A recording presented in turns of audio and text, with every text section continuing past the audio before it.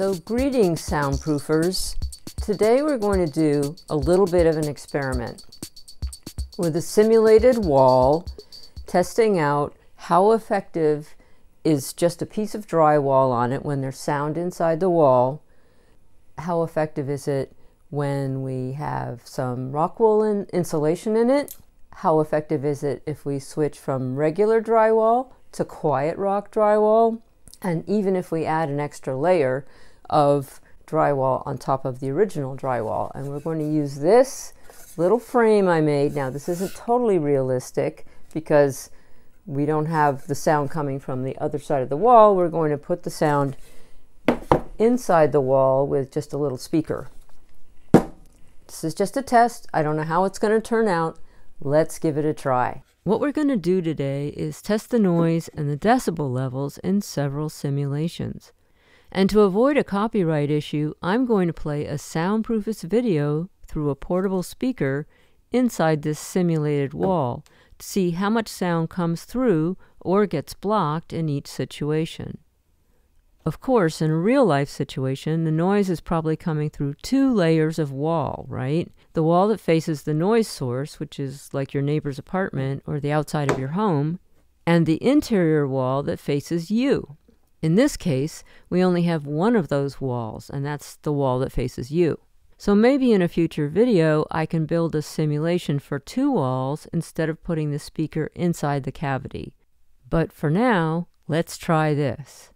First, we'll measure a hollow wall that's covered with a standard piece of 5 8 inch drywall. Then we'll test it again with rock wool insulation inside of the cavity, and we'll also test it with a half inch piece of QuietRock drywall instead of the regular drywall.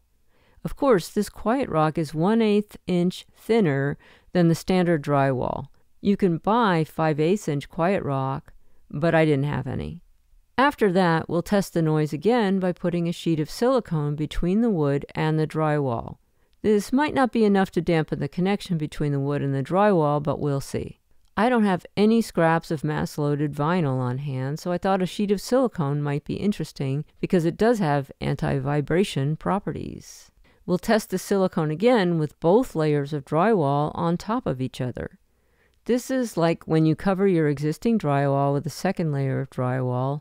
In this case, the second layer is QuietRock, and I've done this myself.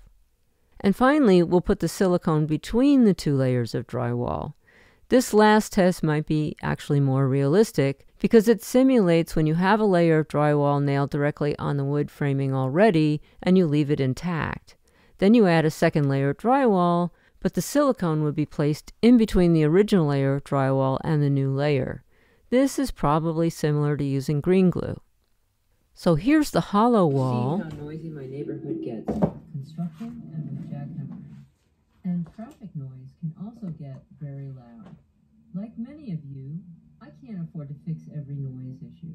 I just want to see what works best. I'll tell you one thing. Here's the wall with rock wool and normal 5 8 inch drywall on top. My building already have double pane vinyl windows.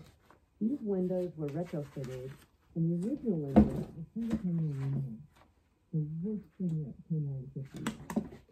But double pane glass doesn't block all noise, especially older windows. These aren't the really good windows like the kinds you find in Germany.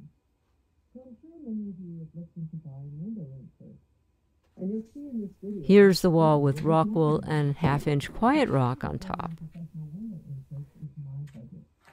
I have three windows in this room, and two of them are really big. One of them is 94 inches wide. The cost to put custom just that one window would be over $1,200. So I have one smaller window in my front room that's about 38 inches Here's the wall again with rock wool, silicone, and QuietRock. You don't have to go to a salesperson. Some of the materials are in only, like the recycled eco-plastic. I resistant acrylic, which is. And hot plastic has been mostly in the West I could just buy them and pick it up, same day, and so that's what I did. I thought it would be a good idea to go slightly under the window frame today, an A2 insert fits. I figured I could add some adhesive back foam on the standard for. Here's the wall with rock wool, silicone, and regular drywall. I need some density and some mass. You could probably go thicker, but I want you to save less. The price came to $134, not including tax. A half hour later, I was back home with the plexiglass. Here's the wall with rock wool, silicone, and both layers of drywall.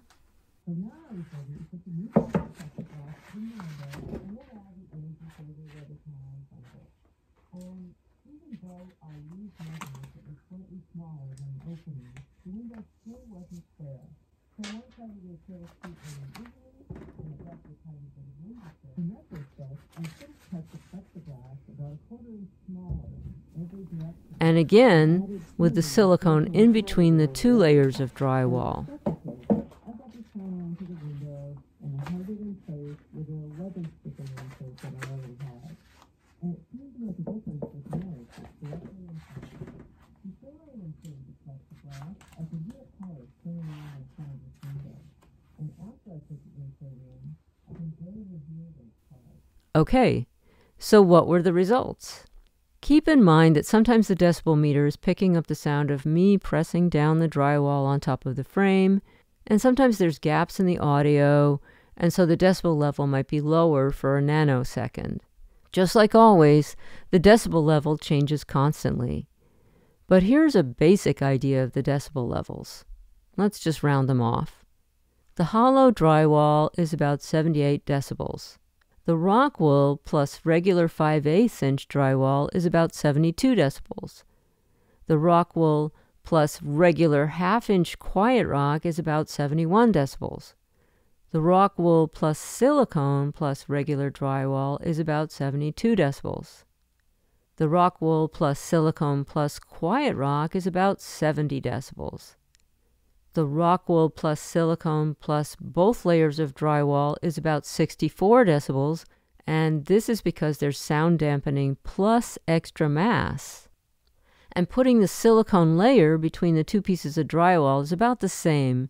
It's about 63 to 64 decibels, and that's again with double drywall. My takeaway is that you need both mass and dampening, so thicker drywall and preferably two layers of drywall is better than just one. Using a material like silicone might help to dampen the noise even further, and we haven't yet tested mass loaded vinyl or adding more mass inside the cavity yet. But we saw today that there was at least a 14 decibel reduction in noise from when we started with hollow drywall to when we ended with an insulated double drywall plus silicone. Thanks for watching, and I really hope this was helpful for you. For more information about noise and soundproofing, visit soundproofist.com.